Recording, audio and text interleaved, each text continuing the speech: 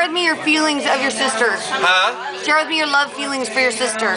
Oh, Jesus put such a love in my heart for her that I just can't even hardly stand it. And sometimes when I'm alone driving down the road and I start thinking of her, my heart just bursts with love.